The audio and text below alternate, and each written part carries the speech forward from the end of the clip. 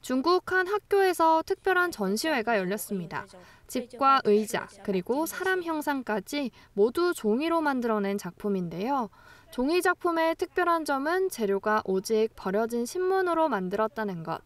아이들의 손에서 한 땀 한 땀 만들어졌다는 사실입니다. 학교 미술교사의 가르침에 따라 찢기, 비틀기, 짜기 등 신문을 재사용하는 8가지 기법을 활용했다고 하는데요.